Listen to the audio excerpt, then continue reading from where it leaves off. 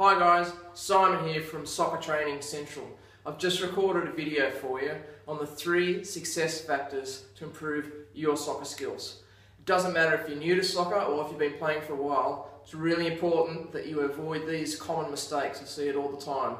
So uh, I've recorded these, uh, this video outlining the three success factors to improve your soccer skills, um, or as I like to call it, the triangle of success. Alright, so if you'd like to get instant access to this video, just enter your name and your email address below and you'll get instant access to it. Now if you're not watching this on, uh, on my blog, if you're on YouTube or somewhere, if you go to www.soccertrainingcentral.com, enter your name and your email address and you get instant access to this video outlining the three success factors to improve your soccer skills and it doesn't even involve touching a soccer ball, okay? So uh, hopefully I'll see you on the other side.